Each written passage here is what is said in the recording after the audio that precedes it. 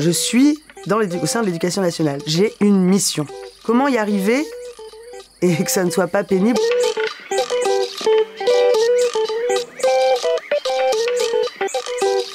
J'ai décidé de rendre les enfants heureux ensemble. J'ai décidé de créer une école alternative qui sort des codes, qui épanouit les enfants.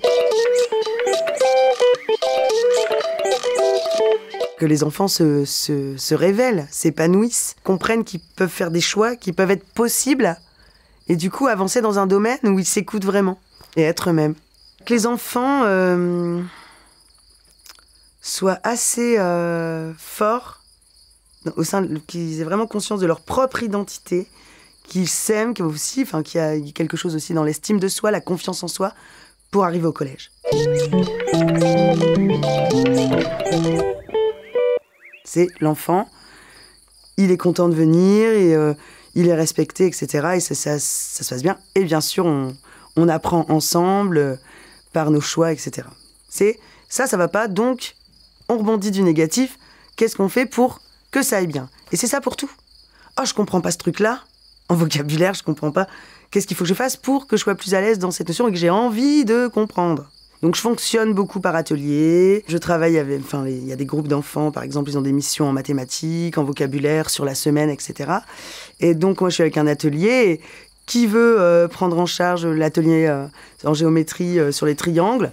Ah, moi, alors, chaque élève peut se transformer dans bien des domaines en millimètres pour son petit groupe.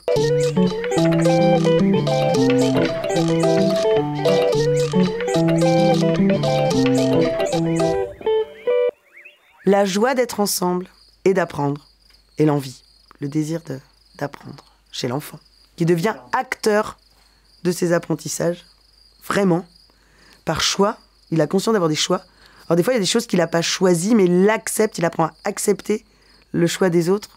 Ils sont prêts pour la sixième au niveau des compétences. Il y a autre chose euh, en plus euh, qui les arme.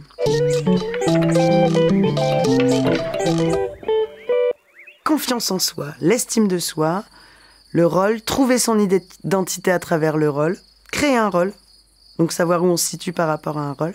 Du coup, c'est le théâtre de la vie, apprendre à vivre ensemble, à accepter les différences des autres, ne pas juger et euh, du coup s'armer pour euh, le collège. C'est énorme, c'est euh, très important.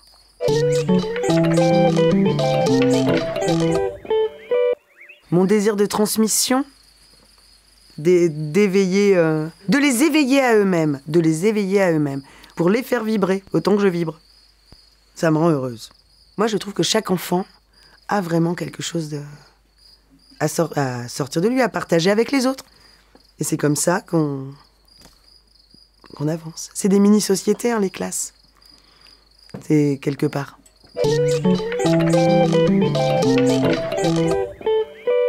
De ritualiser euh, des matières indépendamment, vraiment grammaire, conjugaison, euh, euh, voilà, et en leçon, voilà, du tableau, enfin, qui leur imposer des savoirs écrits, on recopie, on réfléchit on n'a pas conscience d'apprendre. Et on fait défiler le programme et à la fin de l'année, on est tranquille. Mais on a laissé quoi derrière nous Pas grand-chose.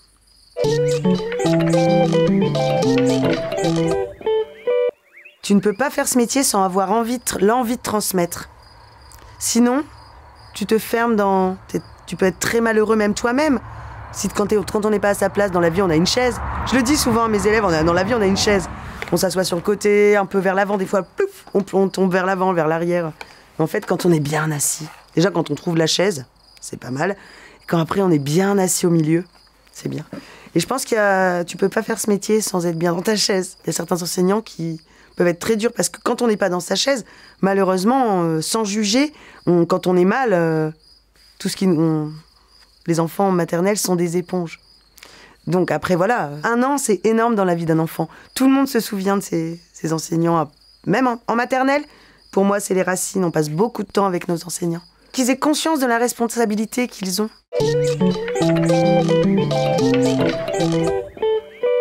Dans l'évolution, j'en arrive vraiment à, privilégier la quête du bien-être, du bonheur, quoi.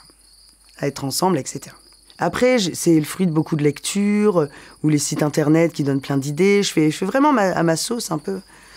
voilà, les pédagogies alternatives aussi que je connais évidemment comme Montessori, enfin tout tout quoi. J'aurais bien aimé être à l'école avec elle. J'aurais pas perdu de temps à me chercher.